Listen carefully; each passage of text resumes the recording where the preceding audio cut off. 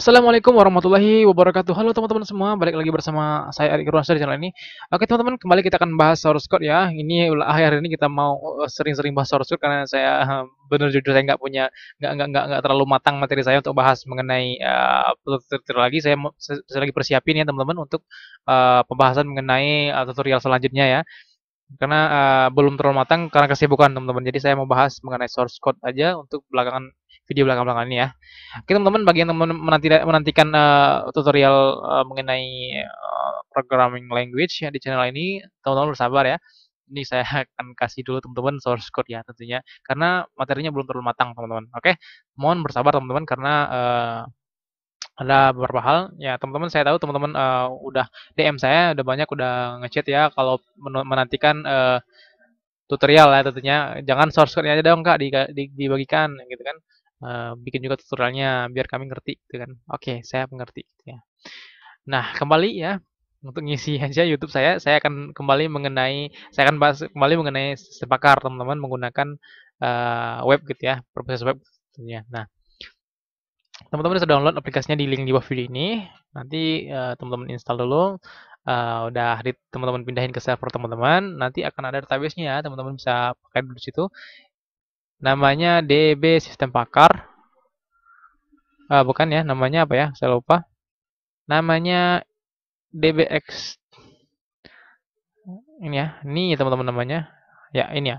Exantema ya, nama virus teman-teman. Namanya ini aja teman-teman sesuai dengan nama database yang sudah saya taruh di sini, biar teman-teman gak usah lagi merubah database-nya ya. Sepertinya saya akan mengulang-ulang perkataan-perkataan saya setiap video yang ini. Gak apa-apa teman-teman, jangan bosan ya. Nah, lalu teman-teman import saja database-nya tadi kalau udah dinamain yang sama ini ya. Langsung aja teman-teman choose filenya yang mana tadi ya, yang mana ya. Oke teman-teman mungkin bingung ya, uh, video berturut-turut tapi uh, foldernya sama semua. Ya ini saya bikinnya satu kali syuting ya teman-teman. Beda video tapi satu kali syuting. Jadi produktif sekali. Nama mana tadi ya? Saya lupa tadi. Uh, ini ya. Case based reasoning ya. Ini nama nama uh, metodenya ya. Ini namanya databasenya choose soal kirim ya teman-teman. Nah udah ini kayak android sakit nih ya. Oke. okay. Di sini ada beberapa penjelasan mengenai virus tersebut tentunya ya. Di sana ada home-nya, ada info penyakitnya juga, dan konsultasi ya. Di sini bagian konsultasinya mengenai apa yang teman-teman alami, uh, gejala-gejalanya gitu ya. Ini kontaknya ya. Oke, ini petunjuknya. Uh, isi data diri katanya. Kita isi data diri dulu, namanya contoh. Usianya 20 misalkan next. Oke, nah kita akan lihat di sini checklist apa saja gejala yang dirasakan nih. Misalkan kita batuk nih, oke jelek. Ini mungkin kalau kita centang-centang ini mungkin sekarang kita dapat virus corona gitu ya. Ini karena beda virusnya ya teman-teman ya di sini akan banyak sekali virus yang yang uh, yang yang yang uh, di, di, ditampilkan. Tadi uh, mengenai virus eksantema nih tapi penyakitnya yang di yang dimunculkan di sini akan ada banyak gitu ya yang disebabkan oleh virus ini ya. Misalnya kita centang beberapa di sini ya. Misalkan seperti ini uh, ada beberapa yang kita kita centang ya. Kita kita, kita berusaha Oke, lihat hasil.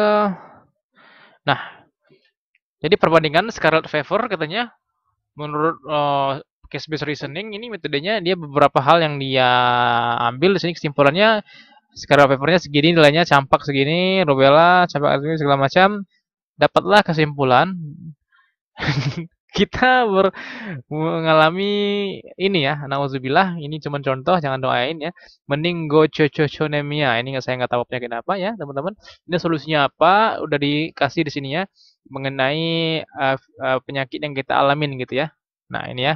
Katanya uh, lakukan terapi di rumah sakit dengan antibiotik ampicillin, claveranicol setelah hasil kultur positif maka berikan penicillin gitu ya. Ini untuk penyakit kulit ya. Virus ini menyebabkan uh, kulitnya gitu ya. Ini kok penicillin kan penyakit kulit nih. Kalau nggak salah saya ya gitu ya. Karena saya bukan uh, dokter. Oke teman-teman sekian aja uh, berbagi source kali ini. Mungkin uh, ada beberapa penjelasan yang teman-teman bingung. Kecepatan mungkin ya. Uh, mohon maaf teman-teman karena saya uh, akhir-akhir ini saya pengen cepet-cepet gitu ya speaknya gitu karena saya nggak mau bikin teman-teman bosan dalam melihat uh, berbagai source karena memang bosan teman-teman. Teman-teman bakal ngunjungin video saya terus tek lihat sebentar nonton sekitar 2 detik 3 detik teman-teman langsung scroll ke bawah download source code-nya gitu. Pasti segitu ya teman-teman. Lalu teman-teman download source code-nya gitu. Kalau bingung mungkin teman-teman kembali lagi ke ke videonya. Nggak bakalan ditengok sampai habis gitu. Oke, saya paham teman-teman. Mungkin bosan ya karena penjelasannya yang kurang bagus, yang kurang uh, berbobot gitu ya. Saya mengerti. Mungkin itu aja teman-teman. Mudah-mudahan bermanfaat. Teman-teman download source-nya di link di bawah video ini. Dan sedikit informasi lagi kalau teman-teman uh, protes ya di sini kalau teman-teman kunjungin uh, timkurin.com di sini kalau teman-teman uh, lihat nih ini berbagai source code ini nggak kenapa ada ada biayanya nih ya oh ini teman-teman uh, untuk perawatan ya kalau di sini dijelaskan ya biaya yang dikenakan hanya sebagai biaya perawatan web saja nanti kalau sudah kita uh, di sini di di di di, di uh, timkurin.com ini uh, berupa uh, uh, hostingan teman-teman ya yang harus kita uh, bayar biaya maintenance-nya biaya, biaya uh, apa namanya uh, hostingannya teman-teman. Nanti di sini akan kita jadikan media download center yang di sini bakalan uh, banyak sekali source code yang bakalan ditampilin dan harganya bener-bener uh, berbanding terbalik dengan harga yang yang lainnya. Di sini 3.500 teman-teman. Bayangin harganya 7.500 ya dengan aplikasi seperti ini teman-teman bisa dapetin gitu ya. Ada beberapa hal yang mungkin harganya bisa 10.000 gitu ya. Ada 12.000 gitu. Bergantung dengan uh, tingkat kompleksitas dari program tersebut. Oke teman-teman langsung aja klik tombol di bawah video ini untuk mendownload uh, source code-nya. Oke teman-teman saya mungkin teman-teman udah bosan ya. Assalamualaikum warahmatullahi wabarakatuh